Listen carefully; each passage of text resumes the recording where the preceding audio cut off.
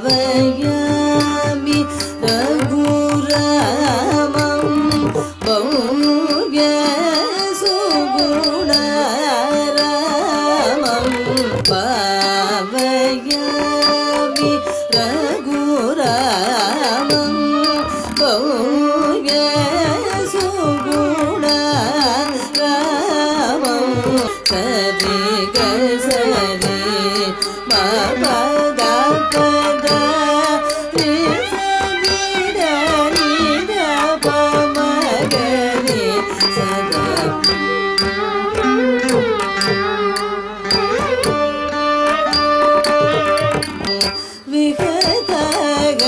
विगतगभिषेक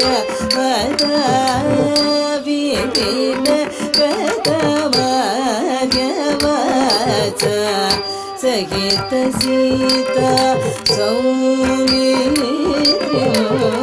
सततं श्रीरं श्रीकमरि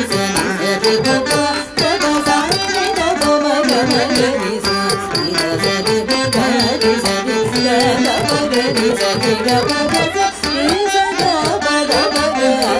सरि